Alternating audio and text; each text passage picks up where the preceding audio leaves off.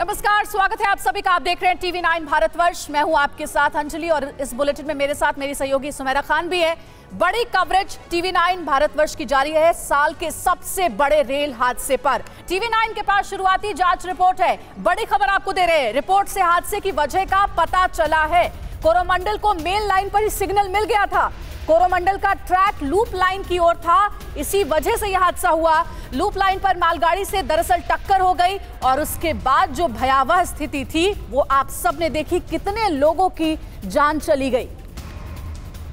जी हाँ और यही बड़ी जानकारी निकलकर सामने आ रही है। शुरुआती रिपोर्ट, प्रिलिम रिपोर्ट जो है, उसका कंक्लूजन यही बताता है कि लूप लाइन पर मालगाड़ी मौजूद थी। अप लूप लाइन पर मालगाड़ी मौजूद थी। कोरोमंडल को सीधे जाने के लिए सिग्नल दिया गया था, लेकिन ट्रैक सटा कर रखा गया था। यानी ट्रैक इस तरह से था कि कोरोमंडल लूप लाइन की तरफ़ मुड़ गई और टकरा गए दोनों। जिस तरह की तस्वीरें भी आप देख सकते हैं, इन तस्वीरों में भी साफ़ तौर पर दिख रहा है कि कैसे जाकर मालगाड़ी के ऊपर कोरोमंडल का इंजन चढ़ गया, डिब्बे डिरेल हो गए। और तब जबकि डिब्बे डिरेल हुए, तब जब ये ट्रेन डिरेल हो रही थी उसी समय दूसरी ट्रेन भी बराबर से गुजरी, जो पूरी तरह से आगे गुजर गई, लेकिन उसके आखिर के दो डिब्बे इन डिरेल हुए डब्बों से टकरा गए।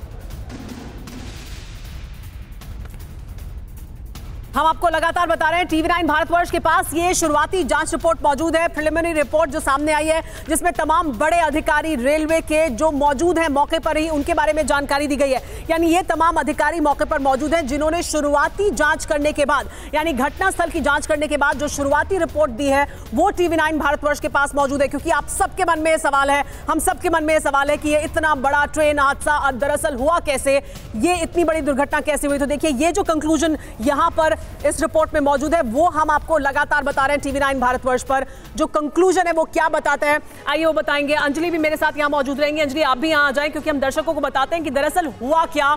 ये देखिए, ये अगर आप समझ सकते हो, और इसी के ज़रिए ये वही ग्राफिक है, यही वो मैप है, जिसके ज़रिए प्रधानमंत्री नरेंद्र मोदी को बताया गया कि दरअसल ये हादसा हुआ कैसे है।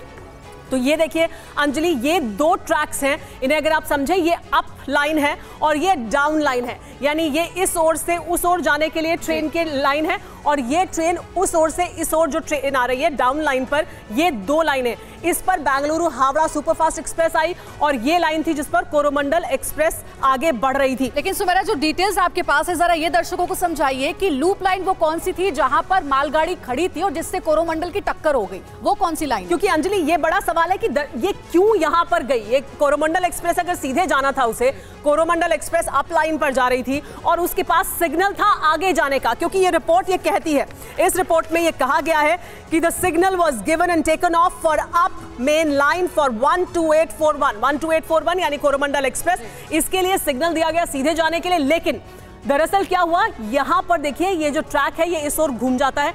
यहाँ इस लूप लाइन में मालगाड़ी पहले से मौजूद थी, अंजलि। और देखिए, ये जो ट्रैक है, ये इस तरह से सटा हुआ था और यहाँ की तरफ़ मुड़ गई।